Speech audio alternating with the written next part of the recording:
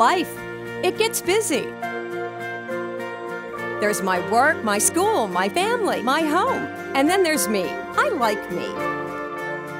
I eat right, have regular doctor visits, and I exercise daily. So when I need to have blood testing done, I expect the lab to be compassionate, professional, and especially needed to be convenient. That's why I chose Health Network Laboratories. With a location close by, their caring team of professionals make all the difference.